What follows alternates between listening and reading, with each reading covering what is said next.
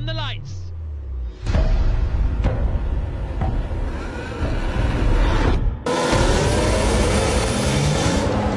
Hamilton then gets away well. Verstappen off the line well. Perez coming up on the inside of Verstappen, who is now in second place. Tyres are good, check. We just want to keep this. Tyres are good. Let's hope it's not. Towards the back, Grosjean has already gained two places coming out of turn one.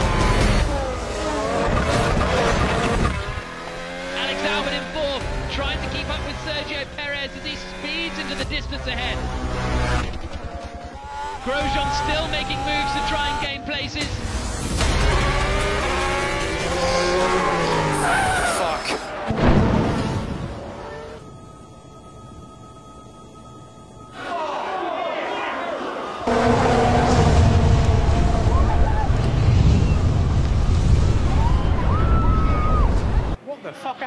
There?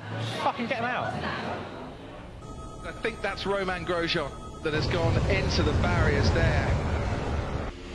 About 140 miles an hour.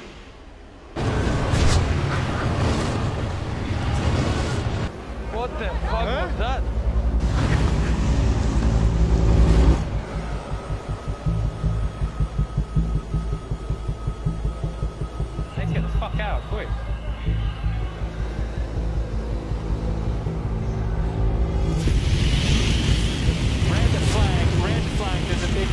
Red flag.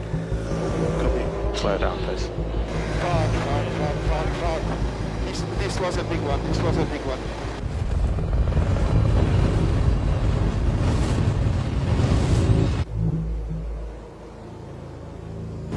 Is he okay? Uh, I will come back to you. No, please. Oh, fuck. Has he got help? No information on it yet. Shit, is he? Is he okay? Come into the pit lane. Oh, tell me he's okay, please. Tell me he's okay.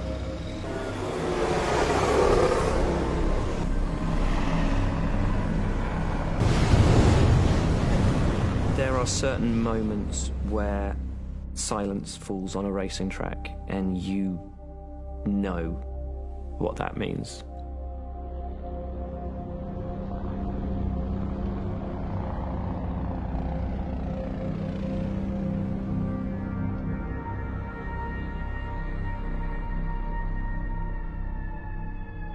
You cannot do anything.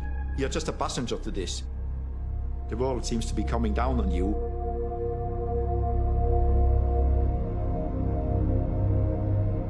Once you see fire, that's the worst thing you can have. This is bad.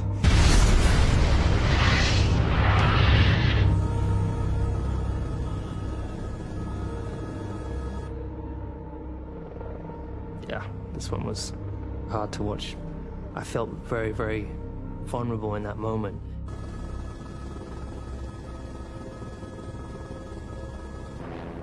Everything goes through your head. You don't think that anybody can get uh, out alive of this one.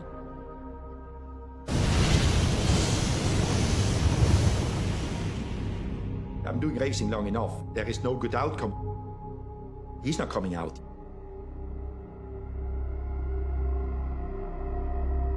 The longer you sit and you wait, the more the fear kicks in because your instincts are that you know what the reality is. When I saw the fireball, I couldn't believe that this could happen in modern Formula One cars. And a car shouldn't break in two. Only when you see those things you believe the danger that we are we go into.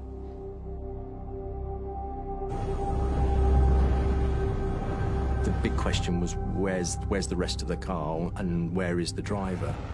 I did think that would be a very bad outcome. As I looked to my right, I could see uh, the driver through the, the gap in the flame.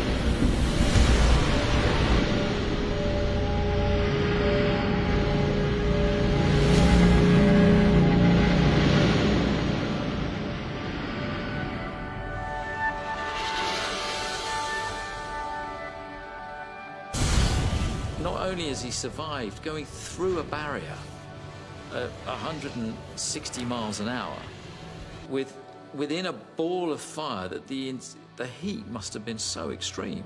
It was a miracle. It was absolutely a miracle.